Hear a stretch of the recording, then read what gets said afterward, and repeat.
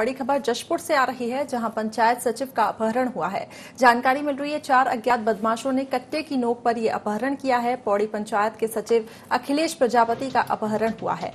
तो बदमाशों के चंगुल से छूटे दो युवकों ने इस बात की खुला, इस बात का खुलासा किया है। पुलिस फ़िलहाल मामले की जाँच कर रही है।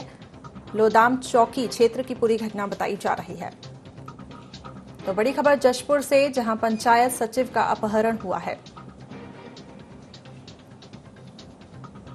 आपको बता दें, पौड़ी पंचायत के सचिव हैं अखिलेश प्रजापति, जिनका अपहरण हुआ है। वहीं बदमाशों के चंगुल से छूटे दो युवकों ने इस बात का खुलासा किया है। तो चार अज्ञात बदमाशों ने कट्टे की नोक पर अपहरण किया है। पुलिस फ़िलहाल जाँच कर रही है। लोदाम चौकी क्षेत्र की पूरी घटना बताई जा रही है।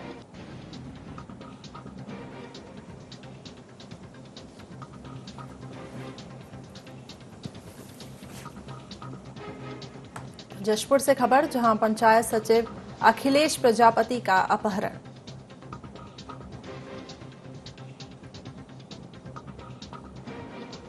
तो चार अज्ञात बदमाशों ने कट्टे की नोक पर इस वारदात को अंजाम दिया है। फ़िलहाल पुलिस पूरे मामले की जाँच कर रही है। दो युवकों ने इस बात का खुलासा किया है। और ये युवक बदमाशों के चंगुल से छूटे थे। तो दाम चौकी क्षेत्र की पूरी घटना बताई जा रही है।